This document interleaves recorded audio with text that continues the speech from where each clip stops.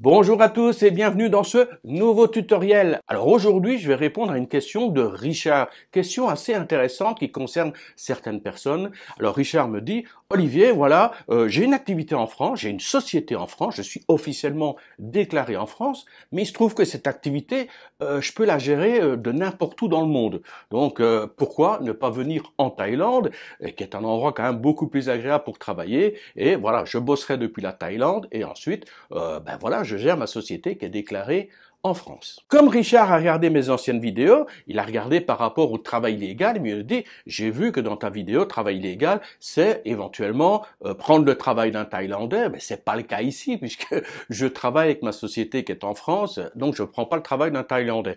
Ensuite, euh, deuxième circonstance aggravante de travail illégal, c'est le fait d'utiliser l'image de la Thaïlande, d'utiliser des services de la Thaïlande, des produits de la Thaïlande, des choses comme ça. Et de nouveau, c'est pas le cas, puisque là, j'ai vraiment un système où je travaille uniquement avec la France. Ça n'a rien à voir, alors absolument rien à voir avec la Thaïlande. C'est juste que je veux venir en Thaïlande pour me poser, pour avoir un bureau beaucoup plus agréable pour bosser. C'est vrai que la plage, la mer, les balades, le coût de la vie, euh, ça donne envie de gérer son travail depuis la Thaïlande plutôt que de rester en France pour faire exactement la même chose. Alors dans la question de Richard, il me donne un exemple, il met entre parenthèses, voilà, si je viens travailler donc depuis la Thaïlande avec par exemple un visa touristique, un visa retraité avec des trois petits points, ça peut être visa élite, ça peut être par exemple euh, aussi visa étudiant. Alors vous allez voir que selon le visa choisi, les choses peuvent changer fondamentalement et j'ai même fait une découverte assez inquiétante qui est sur le site de l'ambassade thaïlandaise de Savanaket. Je vous en parle euh, d'ici quelques minutes. Et euh, j'espère que ça va pas être généralisé aux autres ambassades, aux autres services consulaires. Sinon, ça va être assez embêtant pour quelques personnes.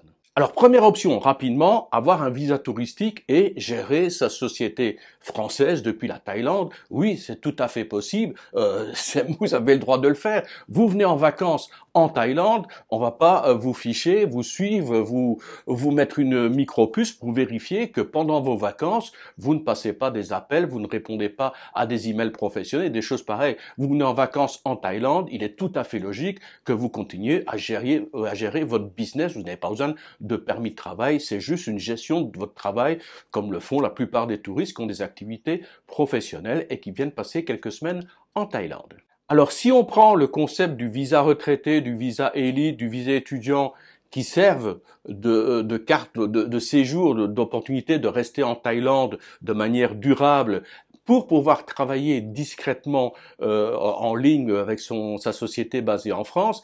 Alors j'emploie bien le mot discrètement parce que effectivement vous n'utilisez pas, vous volez pas du travail au thaïlandais, vous n'utilisez pas des produits thaïlandais, des services thaïlandais, mais il est bien marqué lorsque vous choisissez un de ces visas, il est bien marqué que logiquement vous n'avez pas le droit de travailler.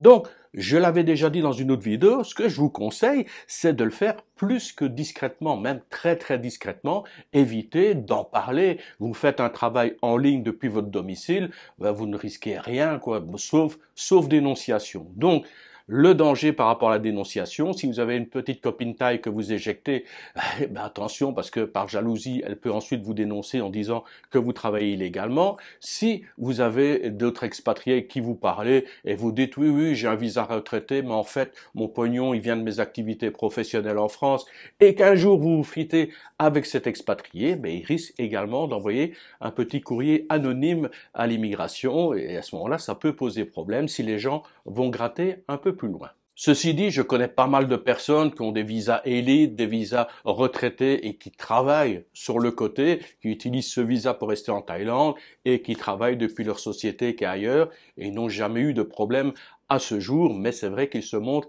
assez discrets. Par contre, pour le visa étudiant, faites gaffe parce qu'on ne peut pas cumuler ça. Et à l'immigration, ils sont quand même pas bêtes du tout. Ils savent très bien que les gens qui commencent à jouer avec un visa touristique, des exemptions de visa, ensuite un visa euh, étudiant, ensuite un visa volontaire et des choses comme ça, ils savent très bien que c'est des gars qui magouillent, qui restent en Thaïlande par tous les moyens, euh, qui n'officialisent pas leur activité, mais qui génèrent des revenus à gauche, à droite, d'une manière ou d'une autre. Donc tôt ou tard, euh, ben, ils risquent d'avoir une petite descente ou plus de vérification. D'ailleurs, je vous l'ai dit dans ma dernière vidéo, avec l'intelligence artificielle, ils vont surveiller de plus en plus euh, ces activités un peu illégales, donc faites bien attention. Alors vous savez que j'aime bien me tenir un petit peu à la page et que je vais régulièrement sur des sites à gauche à droite pour voir les choses qui évoluent et là je suis tombé sur quelque chose d'hallucinant par rapport au visa retraité. J'avais jamais vu ça. Vous savez que dans les conditions, les papiers à remplir, lorsque vous allez à l'ambassade dans un service consulaire pour demander un visa euh, non haut 90 jours pour ensuite faire les démarches du visa retraité en Thaïlande ou les démarches pour obtenir directement un visa retraité d'un an. Euh, j'ai vu sur le service dans les services consulaires, je vous mets directement euh, l'image en arrière-plan. Euh, c'est à Savanaket, comme ça vous allez pouvoir vérifier pour vous-même sur les services consulaires de l'ambassade de Savanaket. Il est demandé maintenant pour les visas retraités, entre autres des preuves financières. Enfin, vous connaissez un petit peu le tout topo nécessaire, mais en plus il demandent maintenant, eux, une preuve comme quoi vous êtes bien retraité. Donc je ne sais pas ce qu'ils entendent par preuve, sans doute aller demander à l'ambassade qui vérifie que vous soyez bien retraité, donc sous-entendu que vous n'avez pas d'activité depuis votre pays d'origine et que le visa retraité, en fait, n'est pas un visa pour camoufler, pour vous permettre de rester euh, en Thaïlande et gérer votre activité depuis la Thaïlande. Donc il est clair que les autorités ne sont pas niaises non plus. Il y a des gens qui ont 50, 51 ans et qui font les démarches pour un visa retraité. Euh, les autorités savent très bien que dans la plupart des pays, on est rarement retraité à partir de 50 ans. Euh, c'est plutôt des gens qui ont 64 ans, malheureusement pour les Français, 65, même davantage dans d'autres pays européens.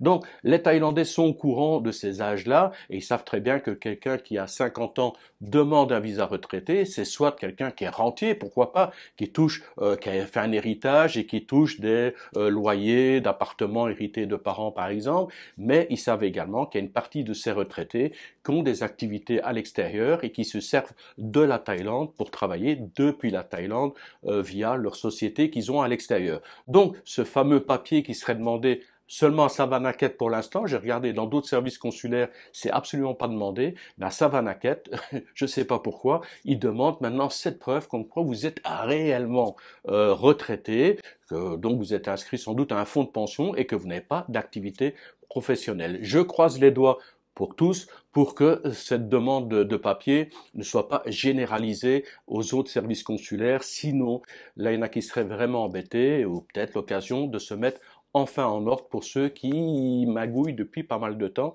Je vous dis, tôt ou tard, le coup près va tomber. Et d'ailleurs, ce sera le sujet d'une de mes prochaines vidéos. J'aimerais bien parler de, ça, euh, mais quand j'aurai le temps. Voilà, là j'ai répondu à la question de Richard. J'espère avoir été le plus complet possible, pas trop bavard. Sur ce, je vous dis à très bientôt pour une autre vidéo. Salutations tropicales des bords du Mekong. Bye bye